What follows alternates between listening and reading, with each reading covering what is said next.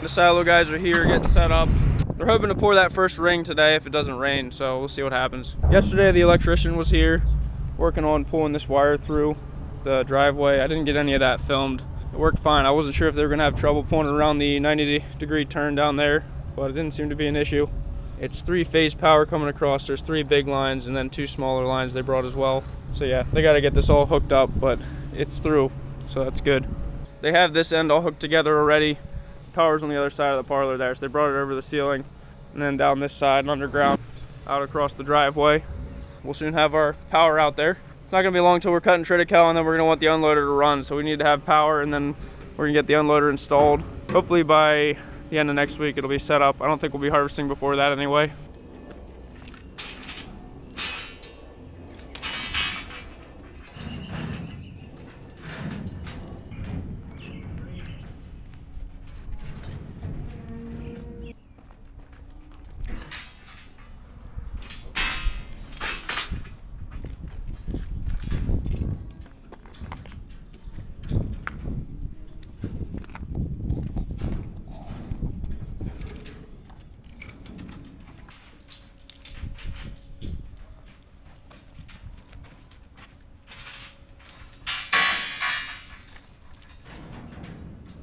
Just got the manure spreader hooked up, brought it over to the calf barn. We got some calf pens that need cleaned out really badly. This whole barn's full now, besides the pens that have a mess in them. Should be about one spreader load to do these three pens. We got some big Angus that need to be moved out for the neighbor.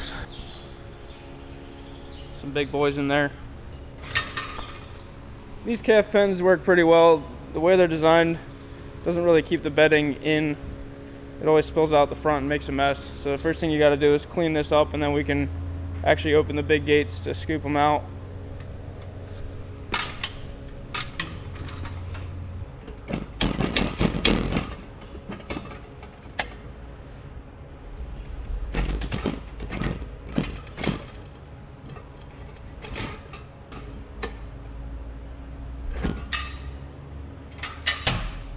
We'll use the skid loader, go grab the manure bucket. We do have two separate buckets. Keep this one just for feed, keep it clean. We're still using the same machine though, so I don't really like that, especially when we're in kind of liquid manure. Gets on the frame and the tires. That's one thing I like about our robot feed system we're putting in.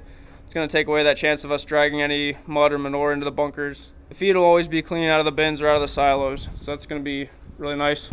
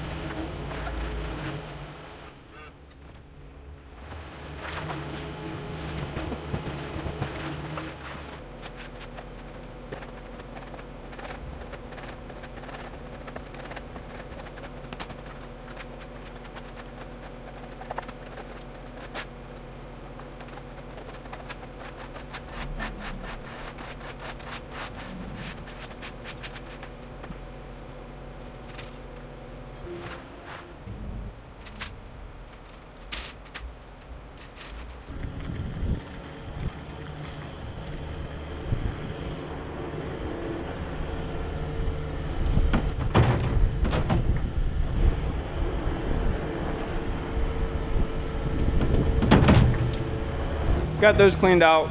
So now we're having a little issue. This building, it all drains down this way. We have a pipe that goes underground just out to the side. It's plugged up. Every once in a while we have to dig this out and spread it.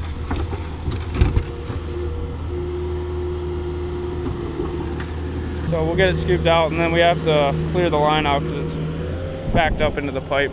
The calf feeders dump the water buckets out every feeding. So whatever the calf doesn't drink gets thrown on the floor and it drains out. So it's just that water, but then you get a little bit of the bedding that works its way out from the pens and it eventually builds up.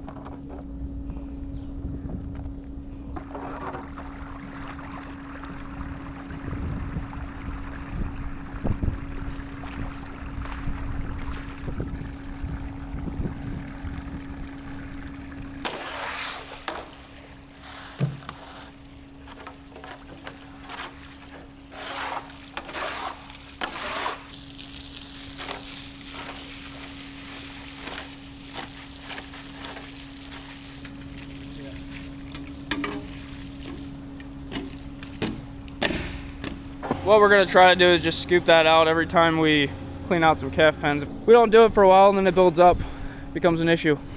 For the most part, it just evaporates there. Doesn't really drain too well that direction because there's not much slope, but we don't usually have issues with it backing up.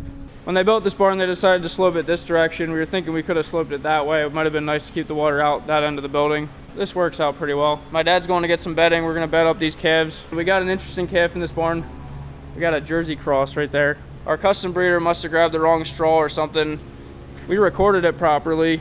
It was in the computer that she was bred to a Jersey. It's just, we wouldn't have told him to do that. We actually don't mind. It'll be kind of interesting to see how it turns out. I know some farms cross with Jerseys and they like it.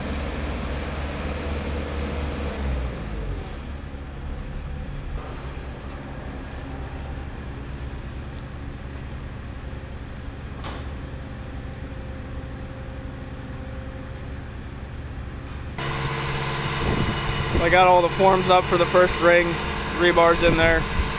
Now they're setting the platform up.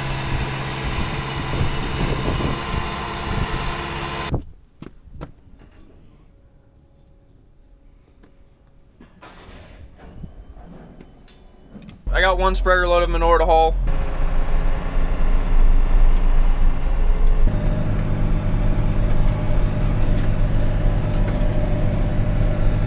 Spreading in one of these rye cover fields that I sprayed the other day. So this stuff's in the process of dying. It's gonna be another week until it starts to really look like it's dying. Should be good to plant in a couple weeks then.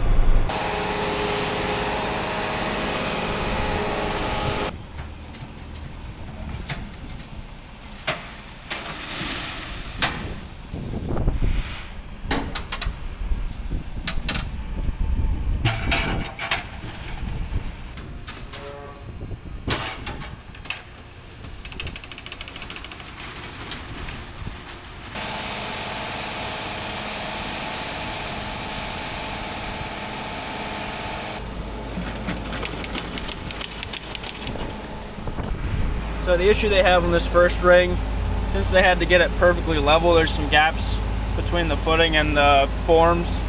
So they want to keep the concrete thick enough that it doesn't just spill out of the bottom. But if it's too thick, then it doesn't fall into the place where it needs to go. So he has to shake that cart to get it to fall out. He normally doesn't have to do that. I think they just did a layer on the bottom there and then they're adding some water to it. It pours a little bit easier the rest of the way.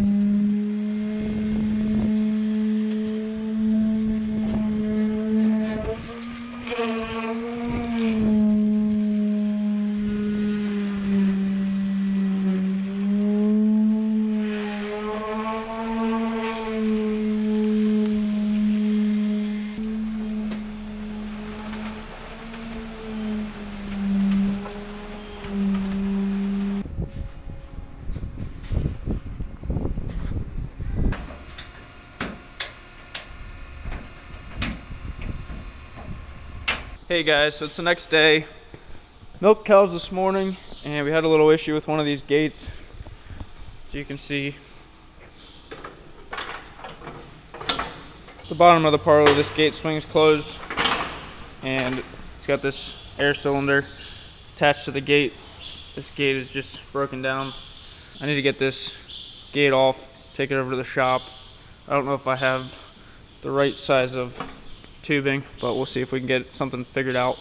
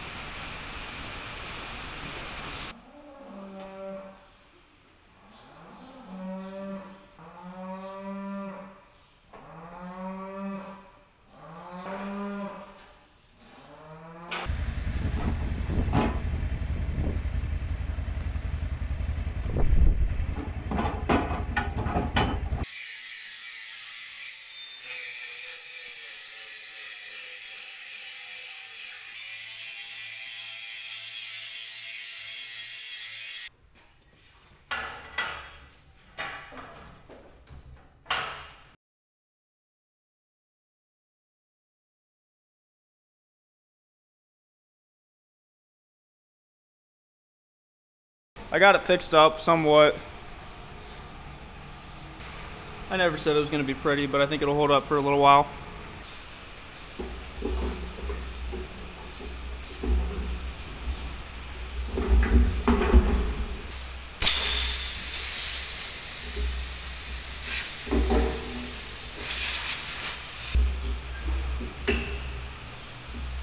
Fit pretty well. This was a little out of place almost straight, but it's just down a little bit. It was kind of hard to get it lined up, but I think that'll hold up for a while.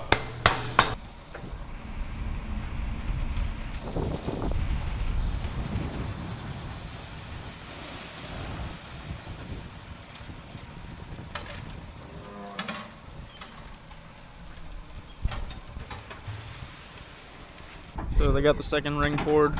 Now they're setting up forms for the third ring. They're starting to shoot now. The electricians are done for the day now. I wanted to show you guys what they did. So we brought that power over from the parlor underground right to the side of this building.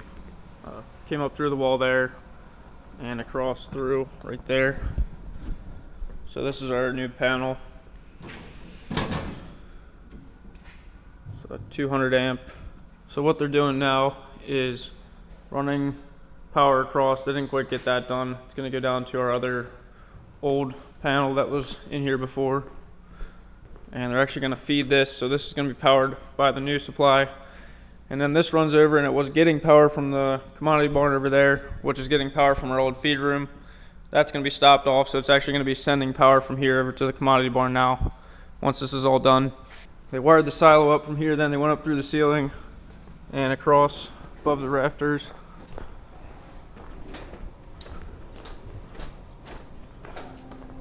Straight out from the silo.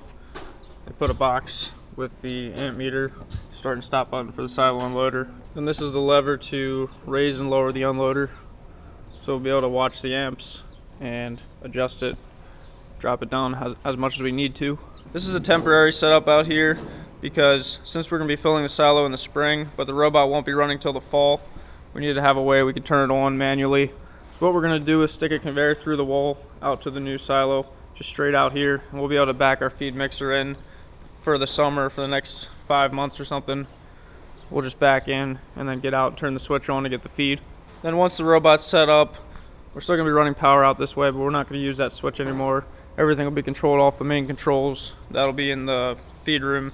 Eventually there's gonna be a big PLC controller uh, that'll be linked into the Lely Vector boxes so that's all gonna communicate and tell everything when to turn on and off. It's a lot of switches and sensors and everything.